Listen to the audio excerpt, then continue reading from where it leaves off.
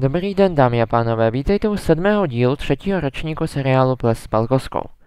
Pro dnešek jsme zvolili taneční klasiku z 90. let pocházející ze Španělska, a sice skladbu Macarena. Skladba v původně v rumbovém aranžmá byla v roce 1995, tedy dva roky po svém vydání zremixována skupinou Bayside Boys do podoby, ve které si ji asi spíše představíme a kterou jsem použil i zde. Toto je dnešnímu dílu vše, já vám děkuji za pozornost a budu se těšit na viděnou u dalšího videa.